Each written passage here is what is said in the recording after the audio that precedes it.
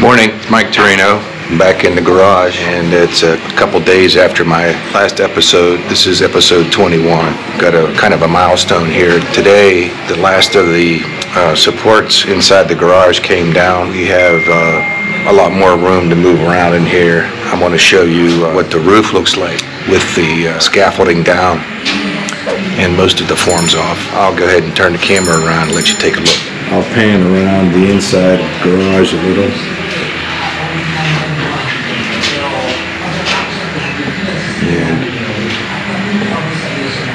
Now we're, we still have some of the forms up, but I think this is a good shot of the ceiling, steel deck. This steel deck is one millimeter thick, and it's the pan shaped variety. On top of that, there's four inches of concrete, which make up the pad for upstairs. This view here is looking out through the three garage doors, one, two, three, and we have a window and entryway, entry door, a window here,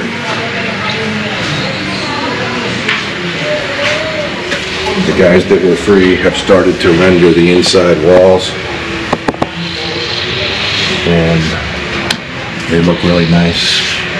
This is a mortar mix, cement and sand mix that they plaster over the existing hollow block.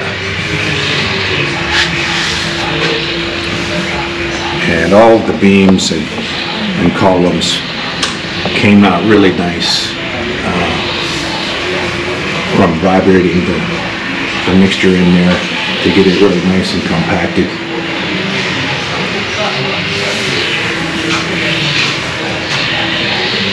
I initially wanted to leave the, the beams and the columns uh, as is. I didn't want to render them.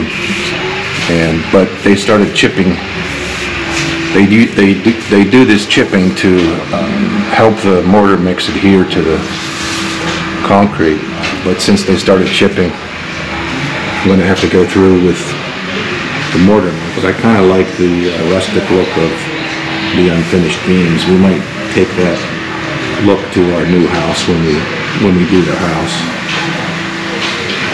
One thing I wanted to take a look at here is see how the concrete block is properly filled with our concrete mixture. And that's probably something to make sure you check if you're doing your own build.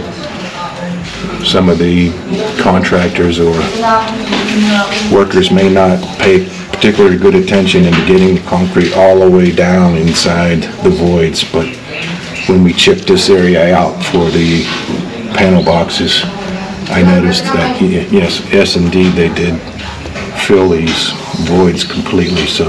And if you watched episode 20, I already talked about the big mistake that was made as far as elevation. And you can see here, this is what, what I decided to do. We've knocked these partial walls here that were in front of each garage door, and we're going to landscape it so it's much easier to drive in and out. Now that led to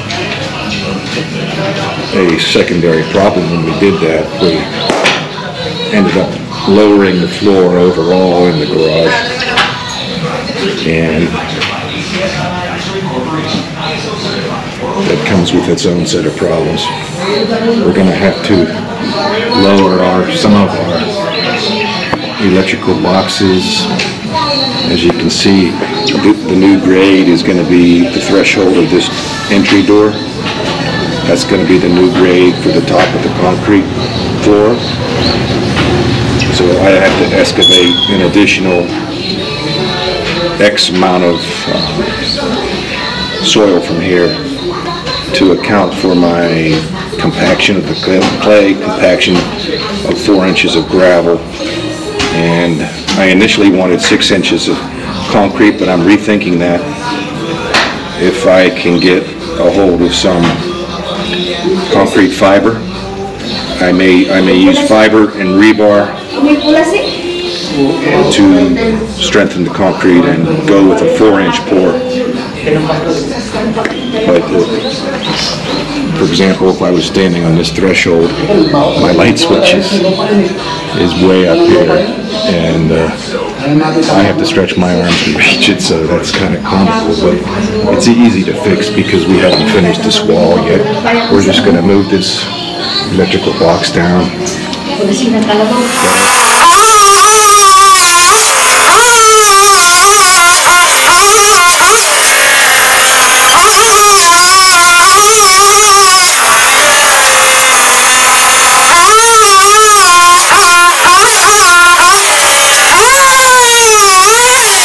In the last episode, you know, I mentioned that planning a six-inch pour in here.